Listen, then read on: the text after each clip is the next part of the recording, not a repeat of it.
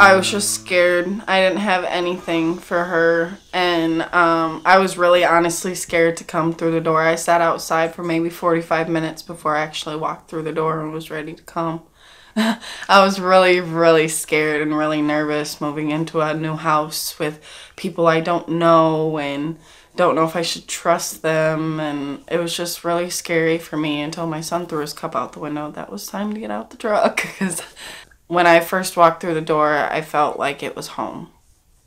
I was scared, but it was home. It's where I needed to be. My name is Marti Gaul, and I am a, a, house mom, like we used to be called. We're now called house staff.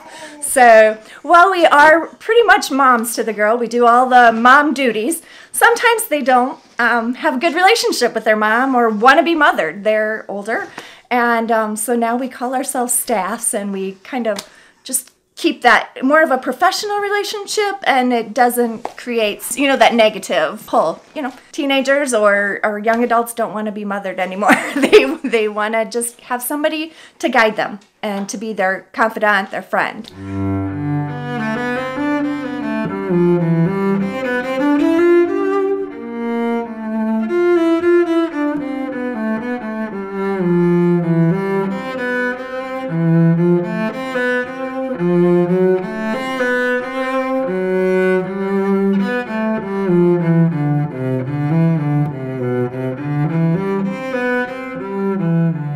don't judge you from where you come from. They don't judge how you grew up or what you've done in your past and it really they really do support you on everything. They make sure you get to the doctor's appointments that you need to go to and therapy if you need it and they offer so many resources and places for you to get help and they're just a lot of support.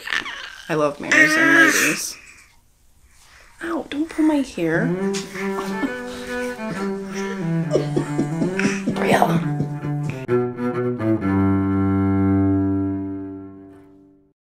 Well, I never imagined that we would have a maternity home in Dubuque, Iowa, ever. I never saw myself doing that. Um, but on, in all honesty, the Lord wanted it, and He has led the way um, the whole time, and He always exceeds our expectations. So, um, 15 girls in less than three years, I think that's more than we were expecting um, the support from the community. We have a fully stocked store that the girls can shop at that has diapers and clothes and wipes and anything they could want that they can purchase with the points that they earn here. That's exceeded my expectations. The support from the community really has been over the top. I couldn't have done it without the community. So that's been the biggest surprise.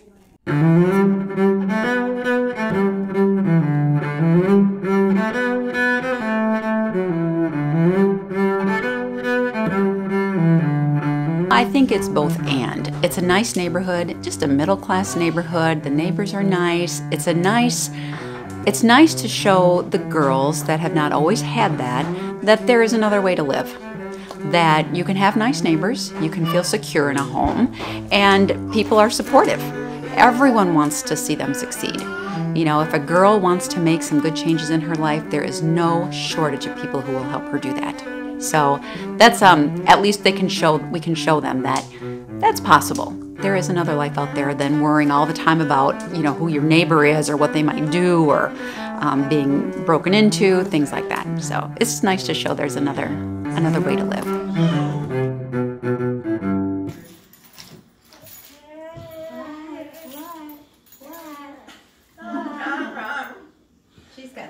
Smile it's beautiful yes definitely She crawls. Um, well, eventually I want to work with disabled kids.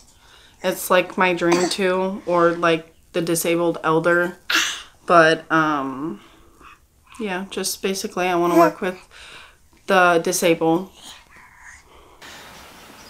I've come from a bad home and I've shared my story with them, and they're so inspiring and helping and so supportive of what I've been through and they continue to help me. Mm-hmm. and that's what makes them great. And I recommend anybody who, you know, is feeling lost or don't have anywhere to go to make sure to come to Mary's Inn because you'll never have another experience like this one. They take care of you and they love you like they're you're their own kids. Mm-hmm.